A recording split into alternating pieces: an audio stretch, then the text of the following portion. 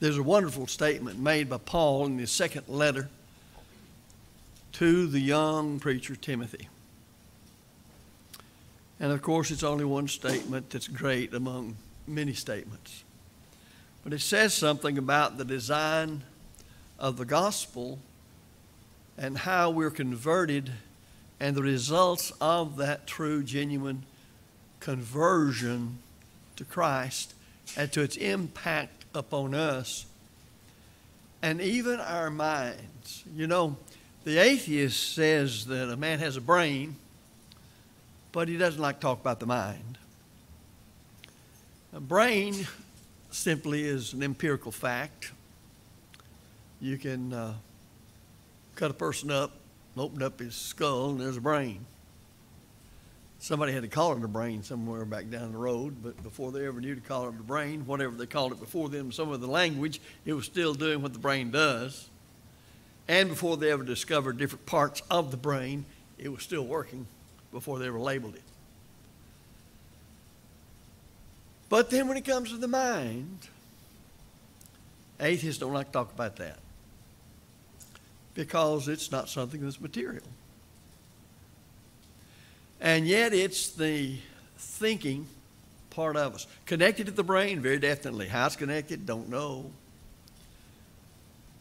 Will we take the thoughts with us into eternity when we're no longer in time and space or in a material body? Yes, we will.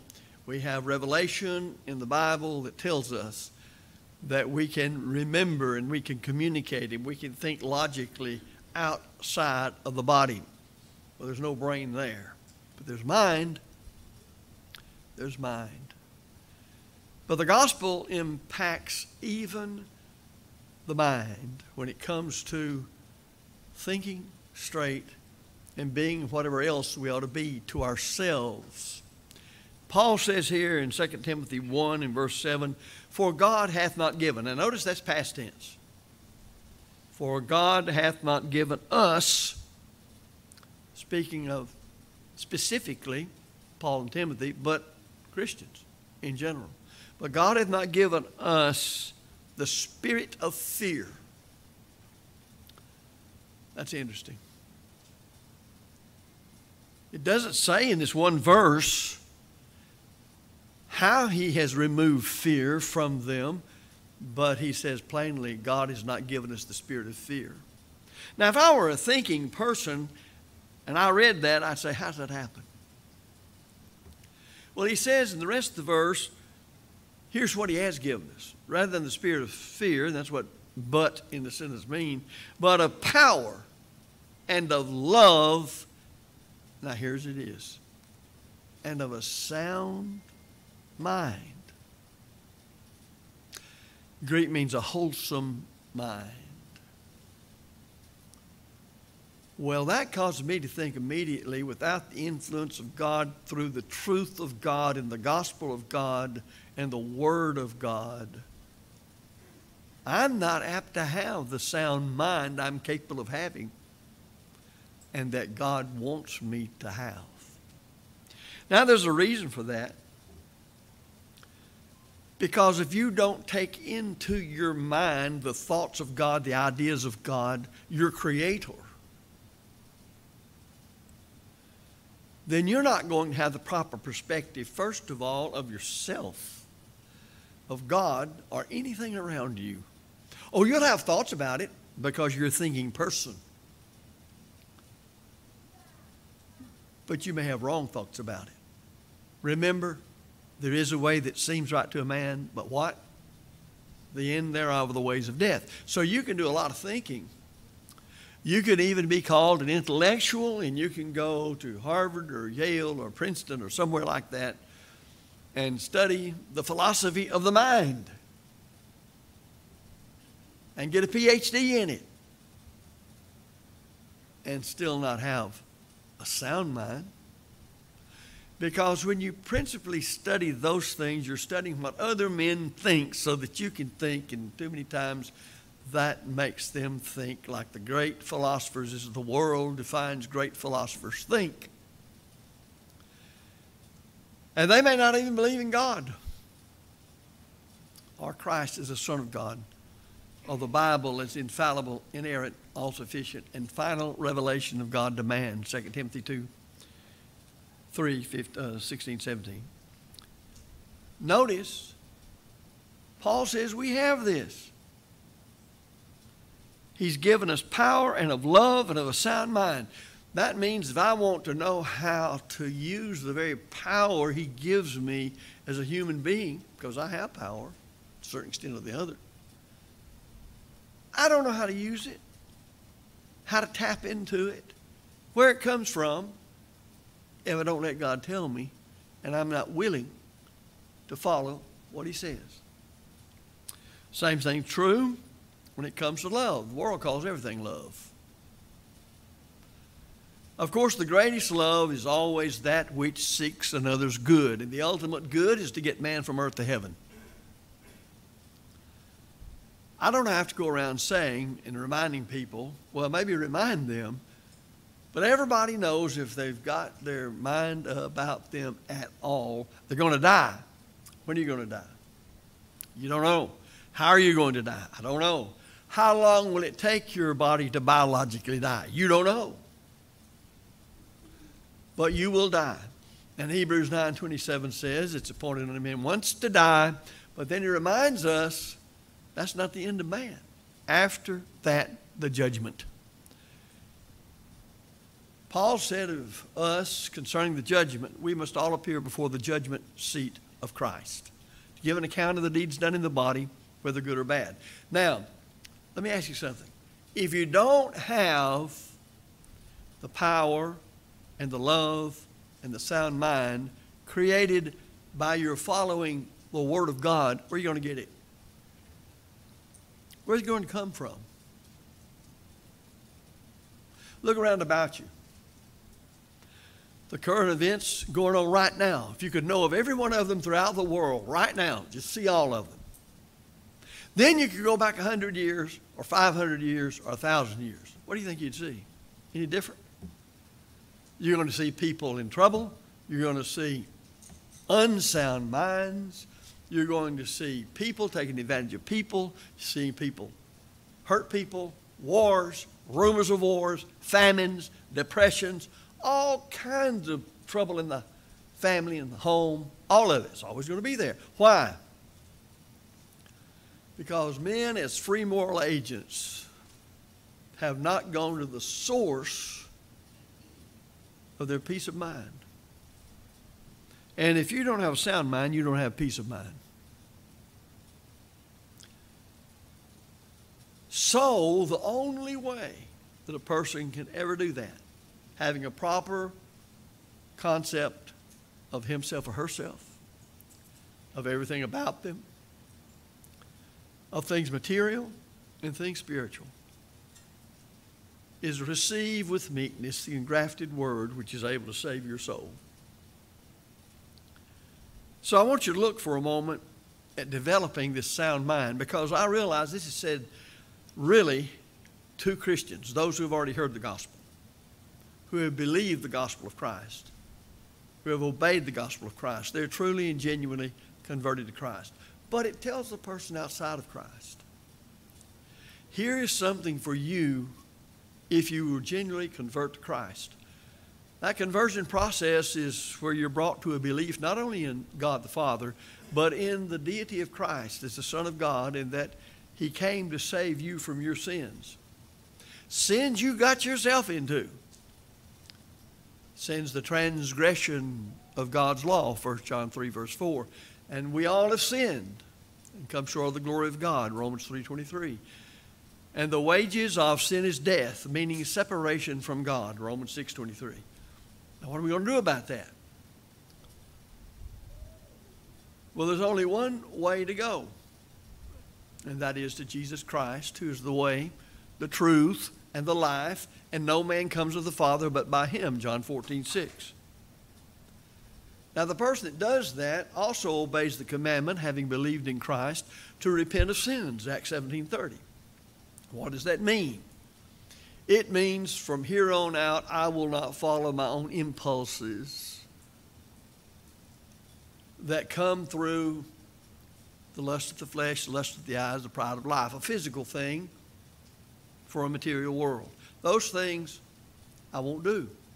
But I will be guided by the testimony of my Lord, whom I've been brought to believe in, and turn from a practiced life of sin. And I'm willing, Romans 10 10, to confess Christ as the Son of God and obey him in being baptized in Christ for the remission of sins by his authority. Acts 2.38, Romans 6, 3 and 4, and Galatians 3.27. Now, I'm speaking to folks, as Paul was here, who have done that. Sound mind. You began at that point. You're a new creature in Christ because your whole outlook on life is different. It's totally different.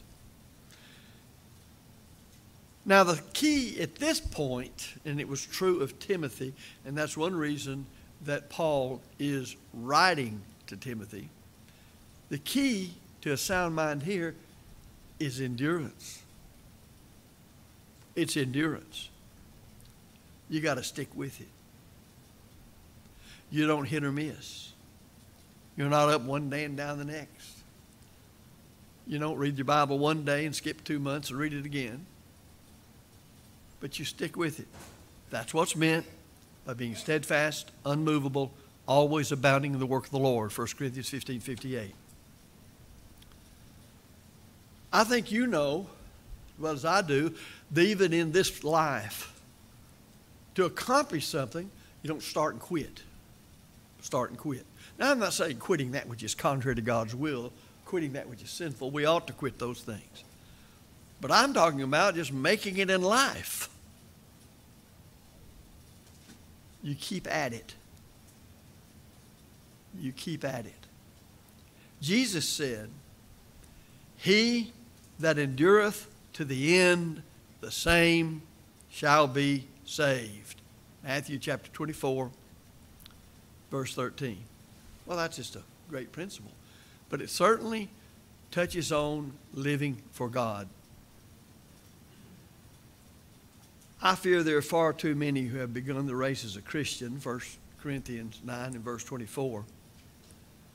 But as was discussed by Jesus in Luke 9 62, they only turn back. They turn back. I see people very zealous when they get started out, but they slow down. And sometimes just completely quit. And in reality, what they've done is prove themselves unworthy of the crown of life, 2 Timothy 4, verses 6 through 8, which Paul says that he had attained because he endured. This is what Paul says. Now, this is the statement a person can make at the end of a life of diligently and steadfastly serving God. For I'm now ready to be offered, and the time of my departure is at hand. I have fought a good fight. I have kept the faith. I have finished my course. Henceforth, there's laid up for me a crown of righteousness, which the Lord, the righteous judge, shall give me at that day. And not to me only, now he's going to talk about us and everybody else that becomes a Christian, but unto all them also that love is appearing. God wants everybody that obeys the gospel to endure so they can make that statement at the end of their life. And we need to so live. We have already seen in my lifetime, and especially the last half of my life to this point, so many brethren back off from the true pattern of New Testament Christianity. Other things interest them. I don't know how much you keep up with things, but churches dwindle in population, in number. Many congregations are shutting the doors. What is that the fault of? That could be several things. One of them is what we're talking about now. Brethren are prone to want to go with the world. The world has a lot to offer as far as this life is concerned.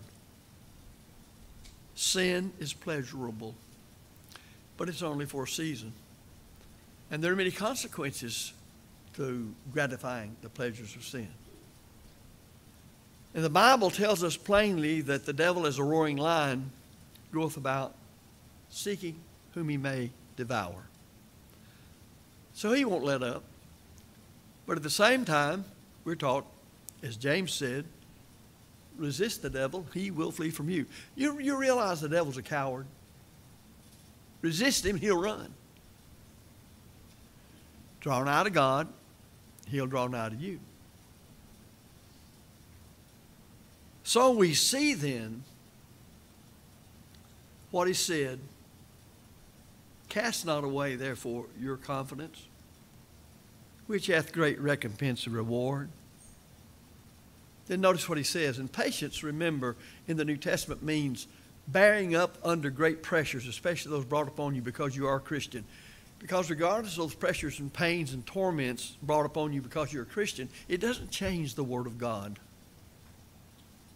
So, for you have need of patience, that after you have done the will of God, ye might receive the promise. Then he says, Now the just shall live by faith. But if any man draw back, my soul shall have no pleasure in him. But we're not of them which draw back unto perdition, but of them that believe to the saving of the soul. Now we're sort of back to what Paul said to Timothy. God has given us not the spirit of fear, but of power and of love and of a sound mind. A whole lot of the world's problems mentally and emotionally would be cured if people had the sound mind that only the gospel offers. I always say this because I want people to understand. I'm not talking about somebody being out of their mind through a blow to the head, through cancer, through some sort of chemical imbalance they cannot help. I'm talking about a normal human being who knows he or she's accountable to God or is accountable to God, whether they know it or not. A person who can reason and think and know when they're honest or they're not, and therefore know when they're thinking honestly or not. So I learned then that as Paul writes to Christians to make sure they keep that sound mind and cultivate it, Philippians 3 13 through 14, forgetting the things which are behind. There are a host of people right now that are haunted by their past.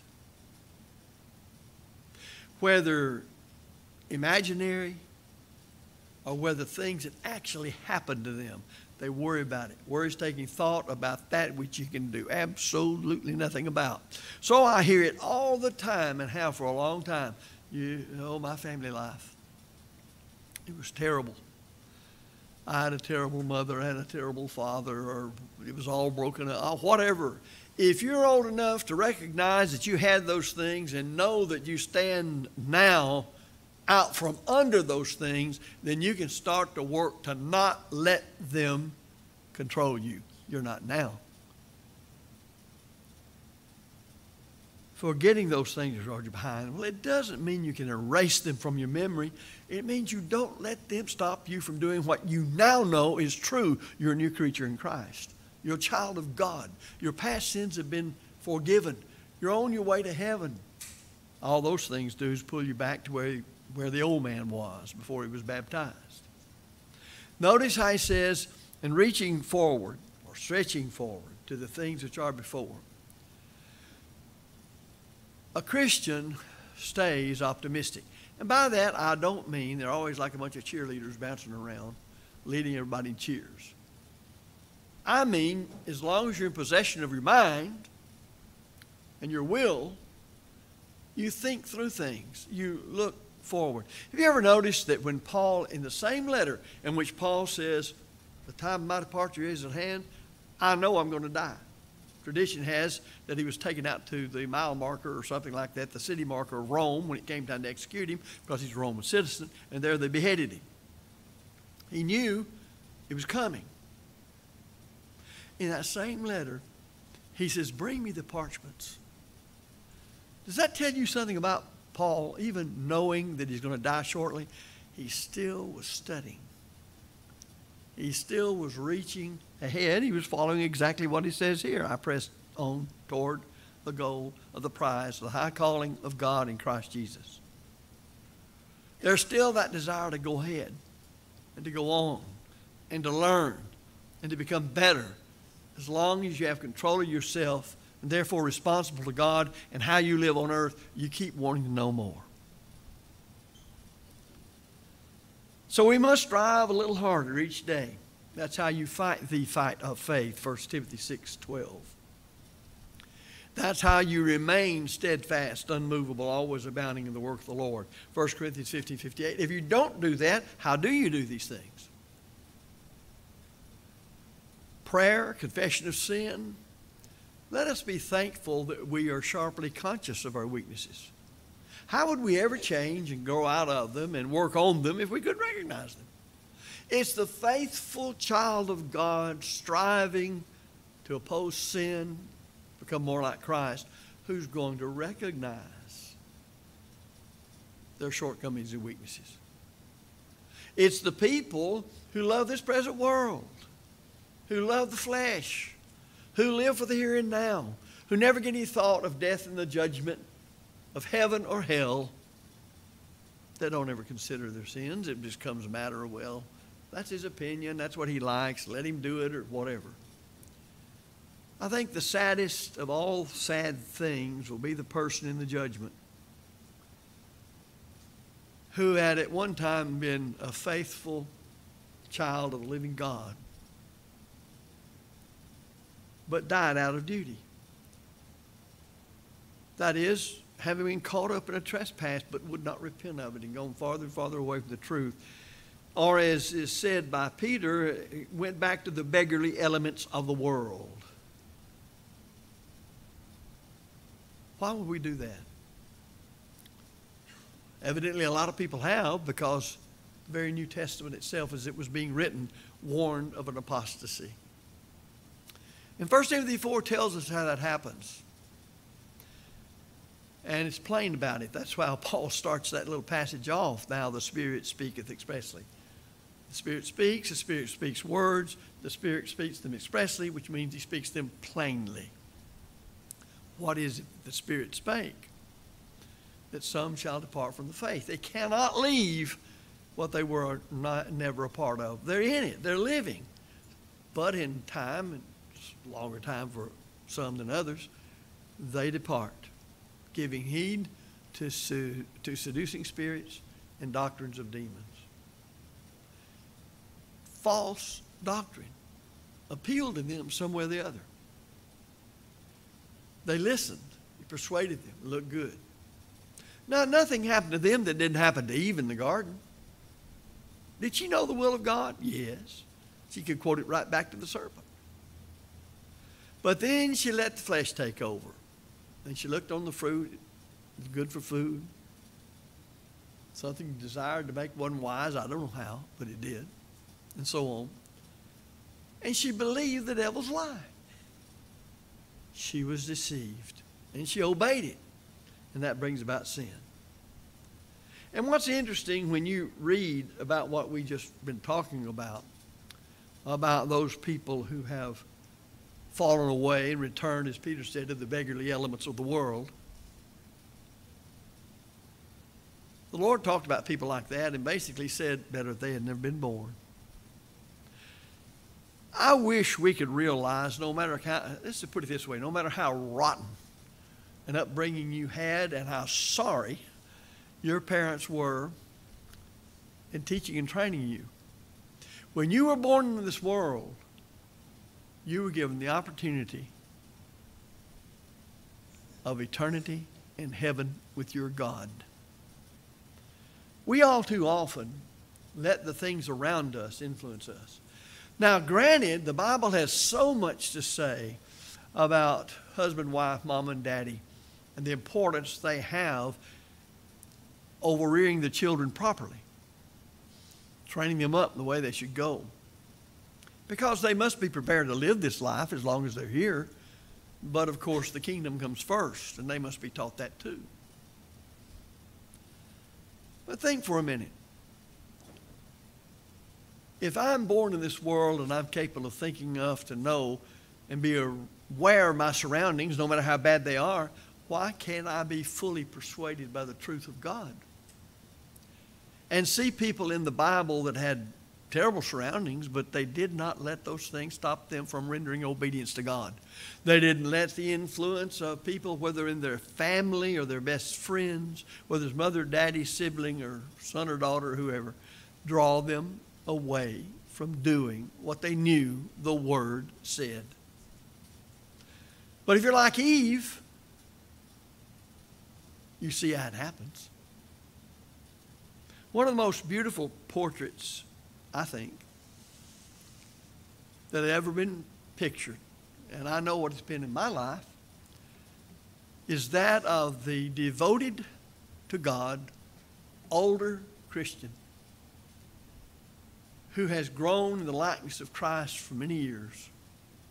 And now, toward the end of their days, they show you by their life what's important, where everybody ought to go.